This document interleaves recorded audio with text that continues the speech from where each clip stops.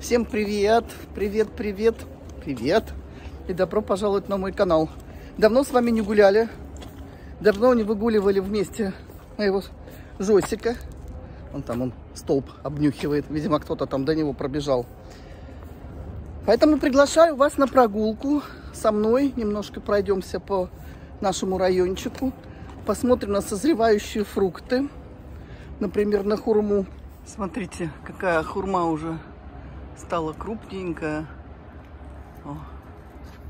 Но еще ей до спелости очень далеко. Хотя вот тут вот кто-то уже чего-то срывал. Видите? Хожу периодически, проверяю, как она здесь поживает. И сегодня я хочу с вами поговорить о погоде. О погоде, о самом наболевшем, о самом актуальном, о самом волнительном и о самом тревожном. А, тут совсем недавно, ну пару, наверное, недель назад, я э, наткнулась на пост в Инстаграме. Э, какой-то турецкий метеоролог рассказывает о том, что в Турции ожидается очень сильная холодная зима, морозная.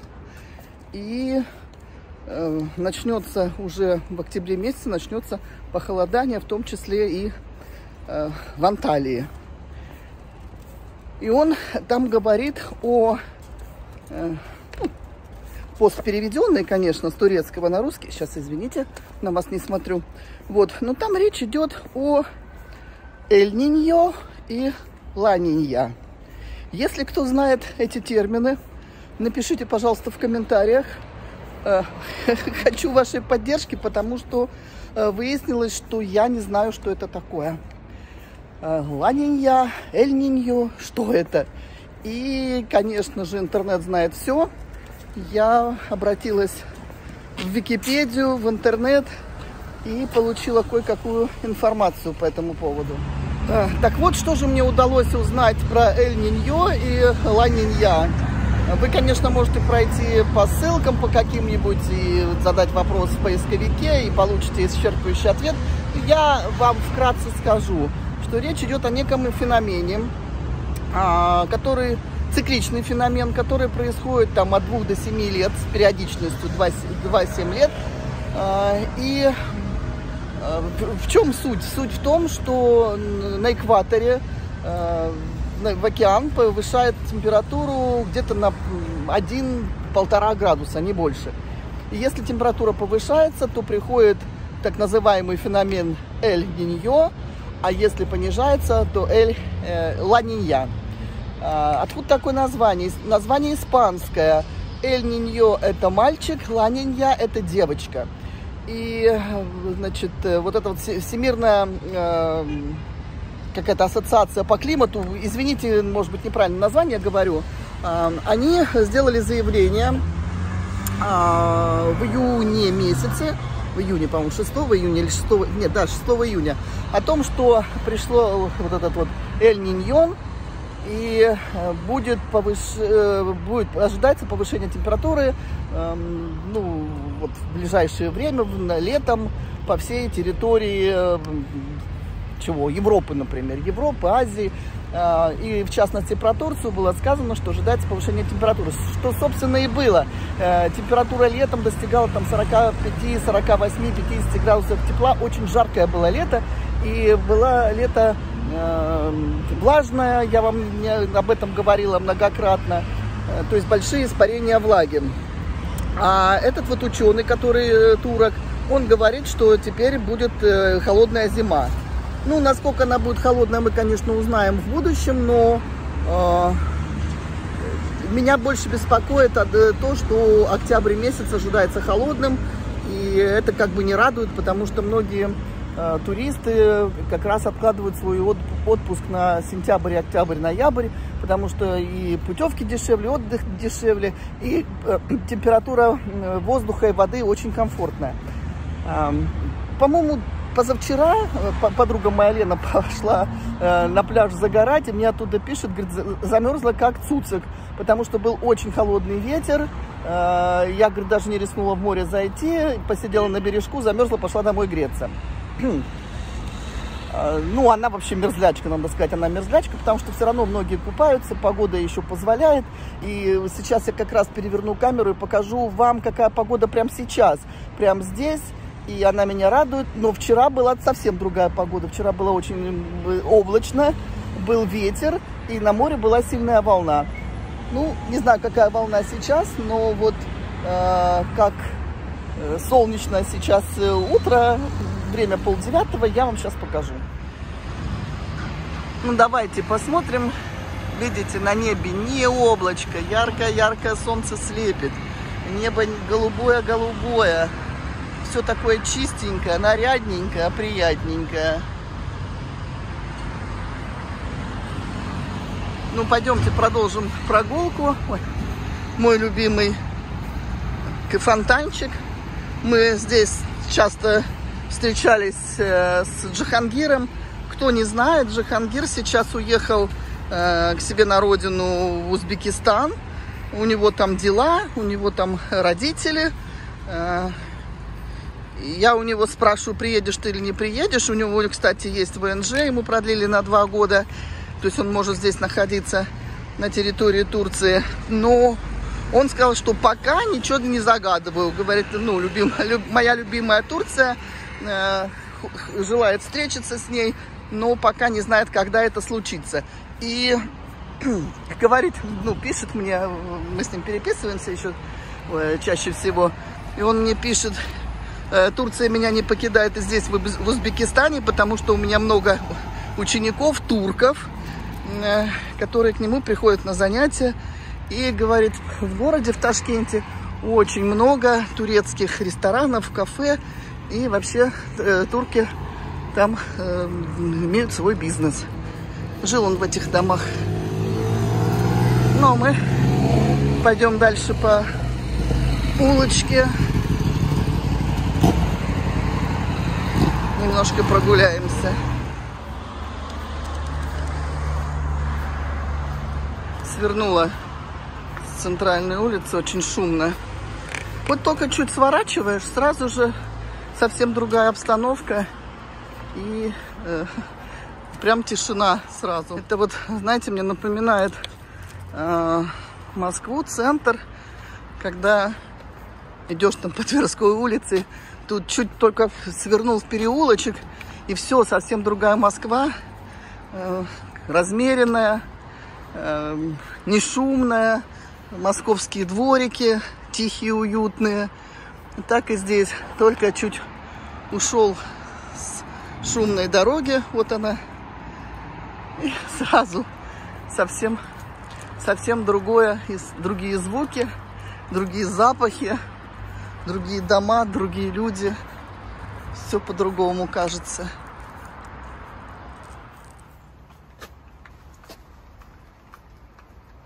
вот бананчики. Видите, цветок еще висит. И бананы зреют. Кстати, турецкие бананы мне совсем не нравятся. Мне кажется, они какие-то невкусные. А тут цитрусовые. Ну, это либо апельсин, либо турунч. Не знаю, кто. Тоже созревает. К нам собака пристала. Очень хочет поиграть с Жосиком. Боюсь, что эти игры плохо, плохо закончатся. Гид! Вроде казалось, совсем недавно мы с вами ходили, гуляли и видели цветущими эти деревья. И вот теперь уже висят плоды. Кстати, на базаре уже появились мандарины в продаже. И они э, сладкие. сладкие, ну, несмотря даже на то, что они э, совершенно зеленые. Зеленая у них э, шкурка вот эта вот. Но они сладкие, надо пробовать. Там разные сорта бывают. Вот, так что, если хотите полакомиться уже цитрусовыми, просите, чтобы вам дали попробовать. Вот смотрите, зацветает юбка. Ну, плохо видно. Она очень высокая, не могу до, до, подняться. Тоже очень красиво цветет такими белыми цветами. Ну, кто дома держит, наверное, у них знают, как цветет юбка. И вот такое большое, большое дерево. Так что вот такая вот шикарная погода сейчас стоит в Анталии. Очень комфортная. Мы вчера вечером гуляли. Прям не хотелось уходить с улицы. Было примерно там 21 градус. Сейчас 24. Вот. Прям сидели на лавочке здесь, в нашем скверике. Болтали с друзьями. Совсем не хотелось идти домой. Но животные требовали кашу. Поэтому пришлось расстаться. Ну, погода, погода сегодня шикарная. Кстати, продолжается ремонт э, нашего дома, там, нашего, нашего сите. Что-то уже покрасили. Вот если видите, там вдали, вот, вот это вот, уже часть покрасили, будет бело-серый. В общем, вот такая вот красота. У нас продолжается ремонт, смотрите. Вот такие были желтенькие дома, а теперь будут вот такие вот белые с серыми такими квадратами. Вот они продолжают красить. И, кстати, приступили уже к подкраске моего дома. Но еще, правда, вот этот не закончили. А еще в нашем дворе растет вот такое вот непонятное для меня плодовое растение. Вот, кстати, наверху там почему-то вот это все темнеет. Не знаю, что это называется. Плод похож на яблоко. Но листики, ну, совсем не яблочные. Не знаю, что это такое. Вот тут несколько деревьев у нас. Вон, видите, темные. Непонятно. А тут уже оливочки. Смотрите, как их много. Но еще не зреют, не созревают. Еще зеленые. работают сотрудники какой-то фирмы, которая нам все красит. Будет все беленькое, чистенькое и нарядненькое. Здесь вот тоже, видите, поставили лестницу, ну, выдвинули, это пожарная. И вот они тут вот эту часть всю прокрасили. И низ прокрасили. Сейчас, мне кажется, они в подъезде что-то там красят где-то на верхних этажах. Побелили уже потолки, видимо, панели красят. Я хочу подойти к этому дереву, который у нас внутри сите растет, и показать вам, может, может кто-нибудь из вас признает, что это такое. Вот видите? Ну вот прям вроде как яблоки. И косточки внутри, как яблоки. Ну, листья, это же совсем не яблочные листья. Ну, тут вот все те же самые оливочки. Жосик, пойдем домой?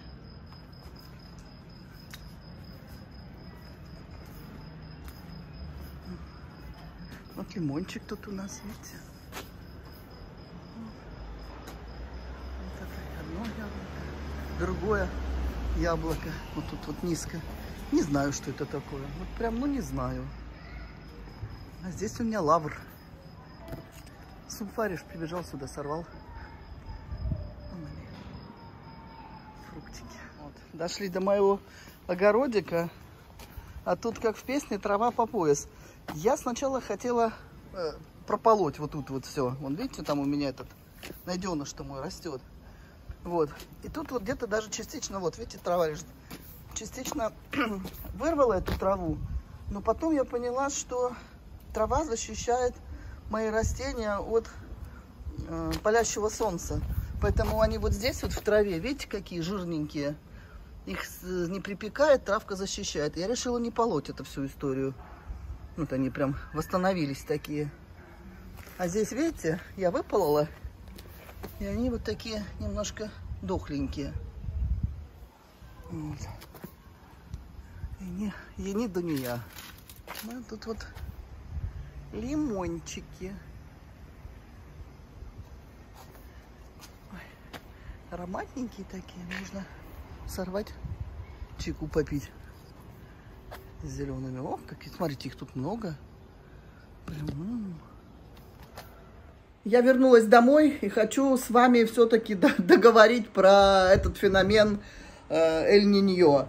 А, ну, теперь мы уже, его, когда его прогнозировали по температурным режимам за последние там несколько лет, а, пришли э, к выводу ученые, что вот он непременно будет в этом году.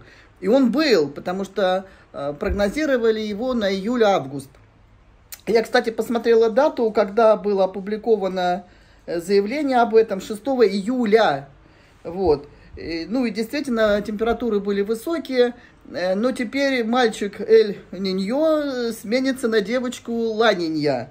Э, я не знаю, как это быстро происходит, потому что я вот сколько прочитала всякой информации про это, ну, меня заинтересовало.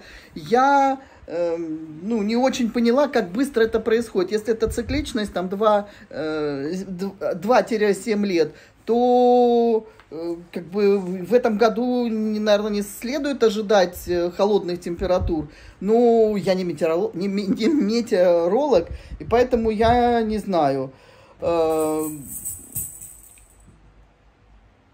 А может быть и, и сам этот Эль Миньо, он может быть тоже характерен тем, не, тоже не прочитал эту информацию нигде. Может быть, он как раз характерен тем, что высокие температуры э, летом и низкие зимой. Не знаю. Если кто-то знает, может, у нас среди нас есть метеорологи, может быть, они пояснят эту ситуацию, потому что я, если честно, в растерянности, и э, этот термин вообще впервые э, услышала.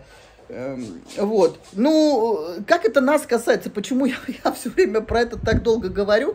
Э, потому что, э, вы знаете, я жду свою подругу Галю в октябре, в ноябре. Ей не удалось покупаться в мае и в июне, потому что была плохая погода, э, очень холодное море было. И я надеялась, что она приедет в октябре, там, в октябре, середине октября приедет и Э, ей удастся искупаться. Вот такие тревожные новости я читаю на сайтах, на, в Инстаграме, в постах э, из Турции. Такие тревожные новости. Ну, будем надеяться, что все будет не так. Климат очень меняется у нас э, на планете. И, кстати, вот прогнозы, вот эти вот дальние метеорологов по поводу Эль-Ниньо, э, кстати, касаются и России. И прогнозы говорят о том, что зима будет крайне холодная, с большим количеством осадков, то есть снежная, э, не знаю, может, может в Сибири будет снег в Новосибирске, а в Москве, может, дождь будет лить кто ж его знает. Поживем, увидим, все у нас впереди. А, вот. Что я вам еще хотела сказать? Спасибо, что вы со мной погуляли, посмотрели на фрукты, овощи и э, за то, что мы с вами, за то, что мы с вами прогулялись, что вы мне составили компанию для прогулки с Жосиком. Мы пришли, лапы помыли, уже кашу поели. Да, Жека? Он, а, а, а Муся там гоняет какие-то игрушки нашла и гоняет детские. Все, увидимся в следующем видео. Всем пока-пока.